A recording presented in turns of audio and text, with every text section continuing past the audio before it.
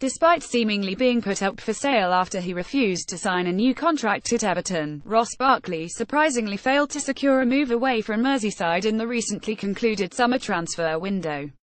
The turn of events meant that Barkley will remain an Everton player at least for the short-term future.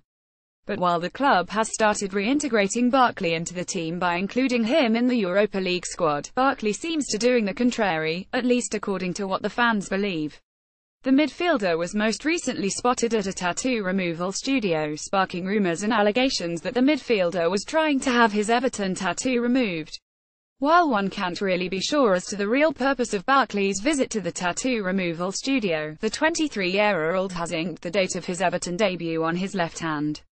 Now being at odds with the club Barkley might just be contemplating what many fans believe him to be doing, removing the tattoo. Via at VM1878, check out the picture of Barkley at the tattoo removal facility below.